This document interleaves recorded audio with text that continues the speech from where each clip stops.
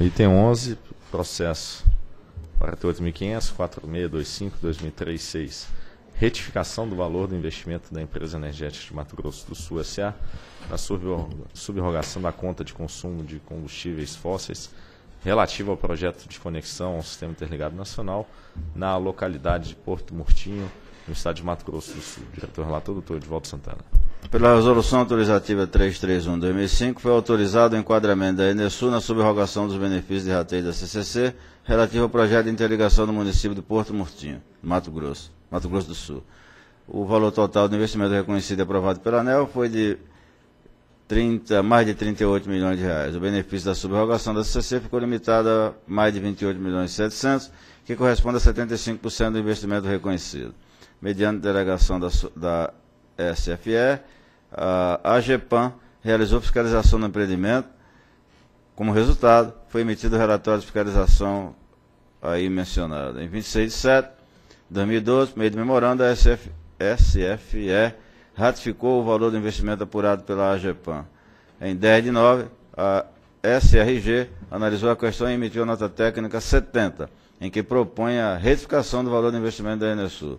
Em 17 de 9, o processo foi a mim distribuído ao relatório. Procuradoria.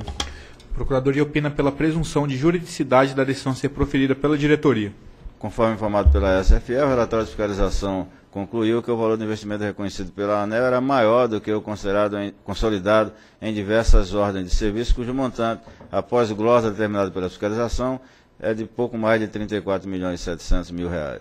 A análise do caso também foi submetida à SRG, seguindo o que determina o parágrafo 2 do artigo 29 da Resolução 427 de 2011, que recomendou a correção do referido valor. Ocorre que a subrogação da CCC para o projeto de interligação da Enesul já foi totalmente paga àquela concessionária.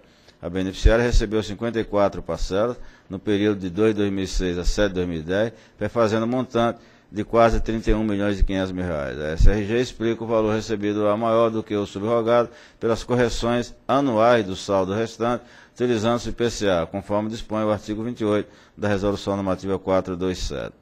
Nesse sentido, a Eletrobras deverá recalcular os pagamentos da subrogação da CCC, considerando o valor subrogado retificado, de forma a determinar o montante devido pela Enesul, que deverá ser atualizado pelo IPCA. Você tem uma devolução. Diante do exposto do que consta do processo aí listado, voto pela aprovação da minuta de resolução, que altera o segundo, artigo 2 da resolução 331 de 2005, no sentido de retificar o valor do investimento do projeto de interligação de Porto Murtinho, no valor de 34 milhões 789 mil 283 reais 92 centavos, com benefício limitado a 26 milhões 91 mil 962 reais 94 centavos, determinar a Eletrobras que recalcule os pagamentos da subrogação da CCC, considerando o valor subrogado retificado, de forma a determinar o montante devido pela Enesul, que deverá ser atualizado pelo PCA, como resultado do item B, que seja emitida cobrança Enesul a crédito da CCC do montante devido. É o voto. Ok, em discussão.